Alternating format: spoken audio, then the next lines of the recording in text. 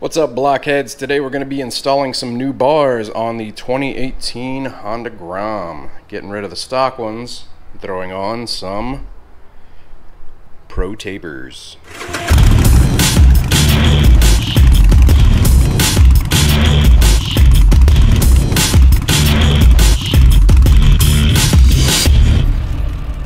Alright, so this is a pretty common modification for a Honda Grom. Uh, people change out the bars all the time from stock because once you change out the bars, it gives the bike a totally different feel.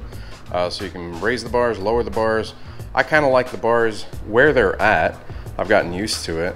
But if I could raise them up a little bit, I probably would. It'd be a little more comfortable. I ended up researching handlebars for a long while and ended up settling on the Pro Tapers because, you know, everybody does them and I started to look into why everybody does them and there's good reason because they have really great reviews. Basically what they make the bars out of are less uh, prone to bending and uh, especially with the brace in the middle. I ended up going with the Pro Tapers. Everybody goes with the KLX 110, I forget the model of the bend but they're really low, right? So I didn't want to go low. I wanted them pretty much the same height as stock.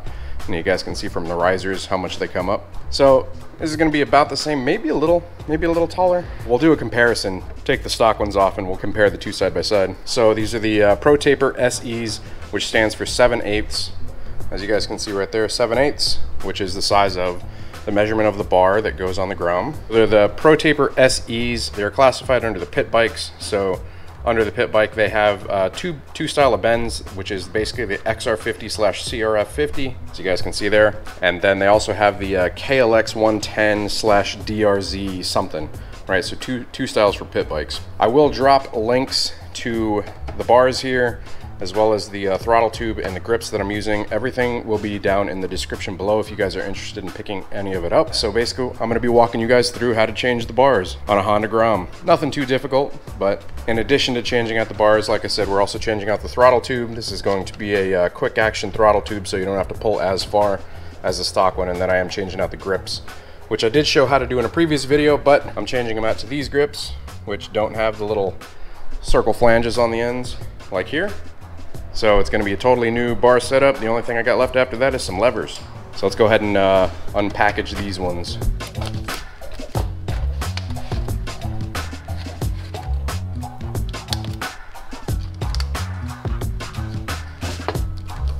All right, so here they are unpackaged. Good looking bar. I really like the finish of them. So just to go over these with you real quick, a couple of the features. Uh, basically you have a, uh, I think they call it like a shot peen finish here, which is kind of like almost like a wrinkle black. Uh, not quite gloss, it's like that flat. The graphics, they, they're not like stickers, so you can't peel them off. They're actually um, in like in the finish, which is cool. Honestly, like I'm not a huge fan of it, so I might cover them up, but we'll see. Looking over on this side, you have you have your measurements right there, so it's easier to uh, basically line it up and center everything up whenever you're installing the bars, and it tells you the degrees of measurement the degrees of, uh, of, tilt, I would guess. You've got your um, middle pad, which is, you know, traditional pro taper. I'm gonna be changing that out. And then, so on your clutch side, the bar is knurled. So as you guys can see, knurled so that the clutch sticks on better. I'm just gonna be using some hairspray to stick it on, not grip glue or anything like that. And then it does have some markings on each side. So if you wanna trim the bars down, you can actually go ahead and trim them down. They've already got those measurements set up for you. No knurling on this side because uh, that's your throttle side and you're, you don't want your throttle tube getting hung up on there, right? Nothing under the bar pad? I don't even think you can take it off, can you? I know in some of them you can take it off and you can actually tighten the uh, cross brace, but not on these.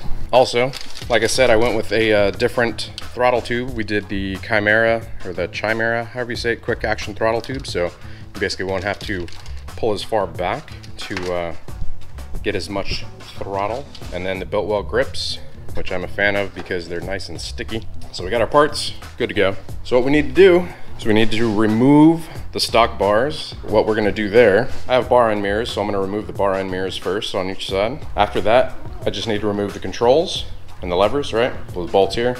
There might be a screw or something under here as well. I'm gonna walk you through that. And then after we've got all that stuff off, we're gonna take the bars out, all right, Remove these little caps, Take those bolts out, remove those from the little risers, and then put the new ones on.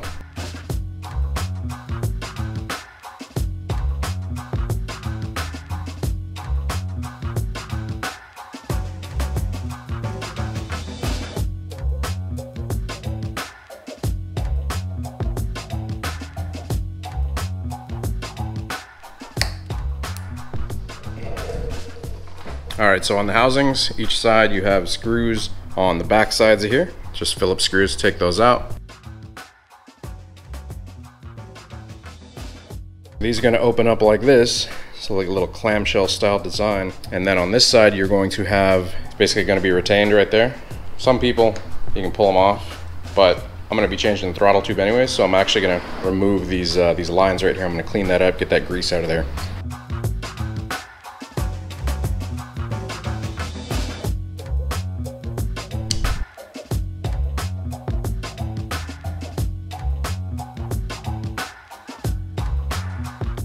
Throttle, basically those two pieces thread into that part of the throttle tube. And then they they each fit inside of the little channels. It's cool that they uh, actually are connected because on a Harley, there's these little pieces and they can fall off. So everything in there is uh, retained. You can just kind of hang that downwards. And then the next part we're going to be removing is this side, and then I'm going to remove the, uh, the levers on each side.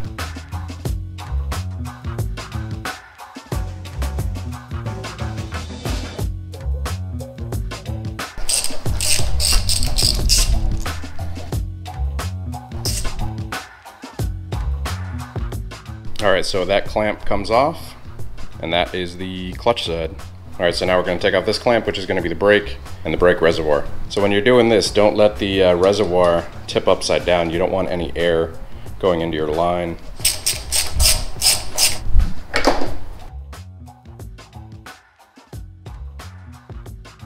All right, so there we go. We have everything off the bars.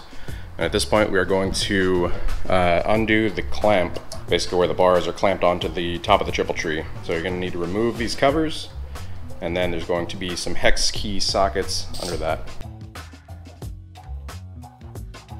These little bowls are super useful. I'll provide a link to that in the description as well.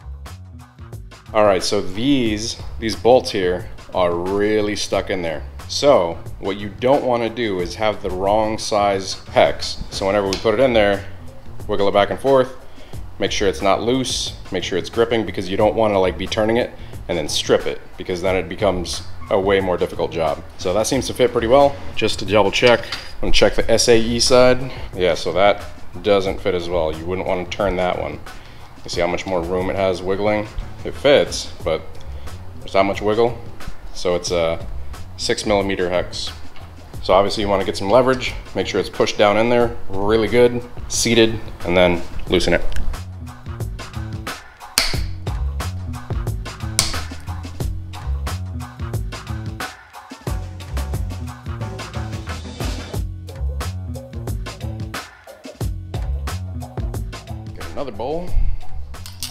All right, so at this point, you're going to pull the top clamps up, just like that. Now there is knurling on the stock bars, so that's why they're sticking there without, uh, without moving. Even though they're not clamped on, all you need to do, give them a pull, and boom. Stock bars are off, basically ready to go ahead and throw the new ones on. But let's compare these first. These are the stock bars. And these are the Pro Taper XR50s. Very similar. I think these actually are, I think these are taller, pretty sure. So that, oh yeah, hell yeah, that's awesome. So what a lot of people do is they'll order the Pro Taper KLR 100s, and those are a shorter bar, right? And then what they'll do to get the height out of them that they want is they'll order risers. Well, risers, like a good set of risers is usually about anywhere between like 60 and $100. So instead of ordering risers, just order the bars with the right height, right? Now these aren't as popular. There's not as many pictures of them up, but I checked out the measurements, did a lot of studying, and uh, these look like the right bars. So in terms of height, yeah, look at that. Oh, that's awesome.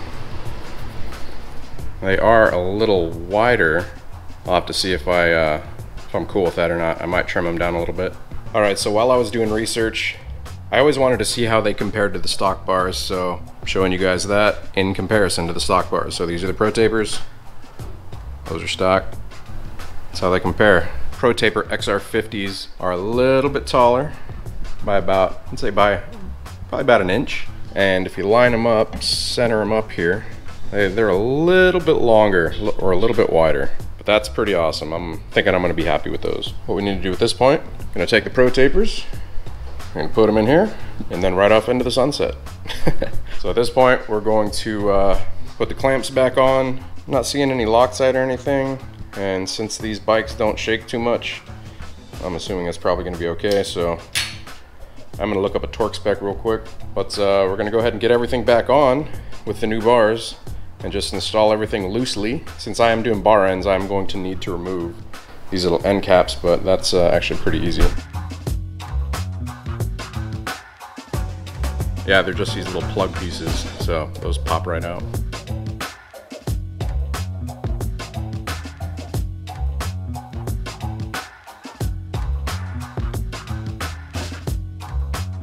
Like that for now. I mean, they're barely, I mean, not even tightened. They're just snugging them down. Basically snugged them down until I felt like a little tiny bit of resistance just so they don't move while I'm mounting everything back up. All right, so I have heard of this.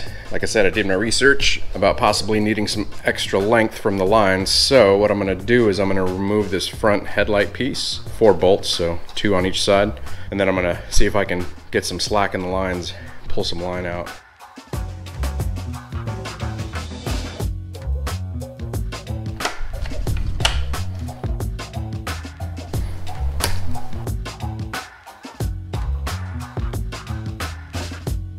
So that's how you remove that, just the four bolts and then connector there, connector there, easy stuff. That's gonna give us a little more room to work with to uh, try and pull some lines out of here. All right, so a couple of important parts right now just to address it before I get too far ahead. I am trying to get some more length out of the brake line. Uh, there is this bracket piece right here that attaches to the lower triple tree. Uh, the brake line is rubber on the outside, and then there's this piece that attaches to that, which it looks like they've just glued. I'm not sure if you guys can see that or not, but yeah, it's totally just glued. So if you work at it, you can actually separate that glue from the brake line and adjust that. So I'm working on that. In addition, I am going to need some more length out of the clutch cable. So what I'm gonna do there is instead of having the clutch cable routed through back there, I'm gonna try to, I'm gonna try to bring it up a little bit and route it through up here instead of going forward in front of that plate. Just so, I mean, you can see where it's moving there. So in order to do that, I'm gonna have to pull the uh, cable out of the lever. So what you need to do is loosen it up right here. You're gonna pull back this boot. You're gonna loosen right here. And you need to line up the, the locking piece right here and that, and then you're going to pull out on the cable this way while holding the lever. So I'll do that real quick just to show you guys.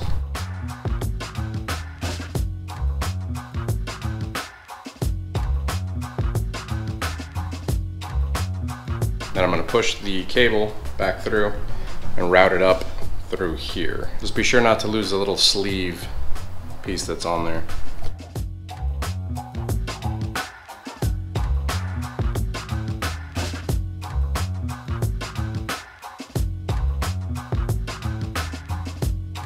All right, there we go. So you guys see how much more length that gave me?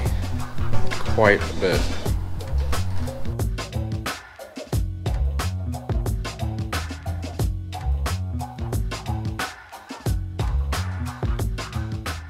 All right, so I've been messing with the wiring and all that for a little bit. Basically, while I uh, get stuff on the bars, I kind of turn it, make sure that it's gonna have enough clearance. One thing I am noticing is the distance from the controls where they're mounted to the end of the bars.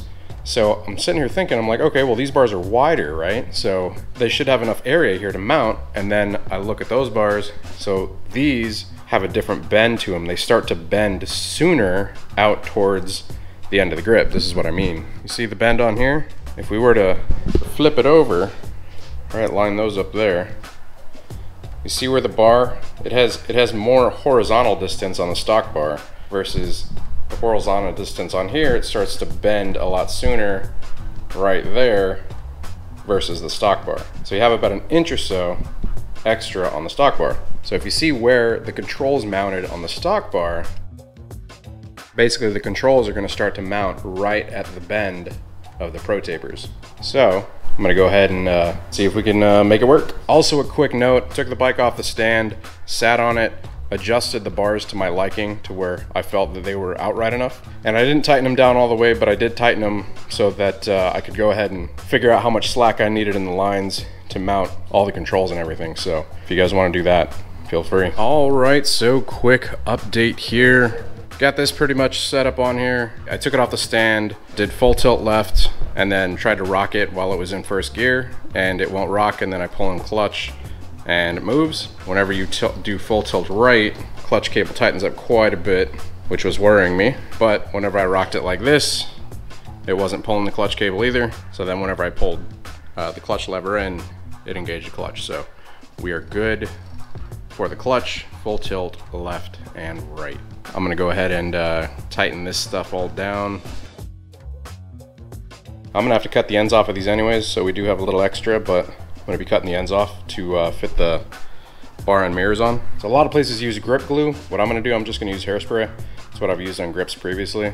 And it uh, acts as a lubricant while you're putting it on. And then it also, uh, after it dries, you know, sets and it's removable if you need to take them off.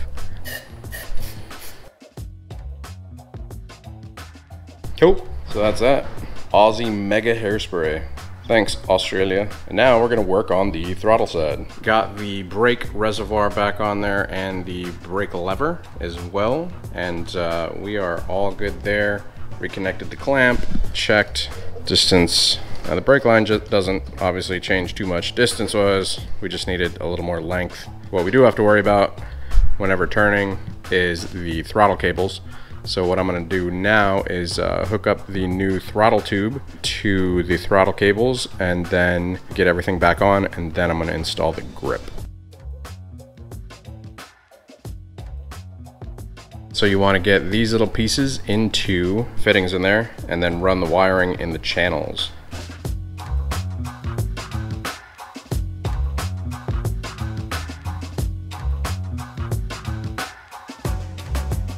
All right, finally got him back in. So now, go ahead and snug that up and put this clamp back on. So one thing I did forget to mention, you guys notice on the inside of these, there's these two little pieces of metal and they have like a metal barb sticking out of the bottom of the housing. So what that metal barb does in the stock bars, you notice there's a little hole, right? So that little metal barb sticks into that hole and it keeps the controls from basically being able to move back and forth like this. So rather than drill into the bars though, what I'm gonna do is right along this edge, I'm gonna go around it once with some electric tape so that it fills in that gap and this basically will bite into the electric tape.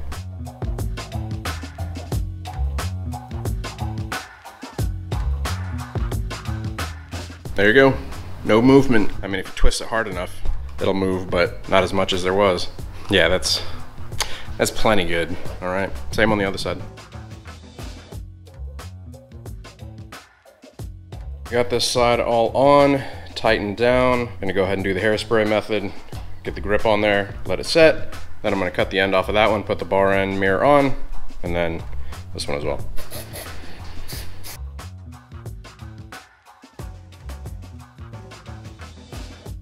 All right, cool. Go ahead and let that side set. I'm gonna go ahead and throw the bar end mirrors on there, but there is a video for that already. I'm not gonna film that part. If you guys are interested in installing some bar end mirrors, go check out that video. I'll drop the link in the description below. What I'm gonna do now is tighten everything up, tighten the throttle cable back down. I got the controls tightened, but I'm gonna tighten these up and then I'm gonna tighten top clamps as well. And then after that, I'm gonna take it for a test spin, make sure that it uh, functions properly, full tilt left and right, and uh, I'll be right back.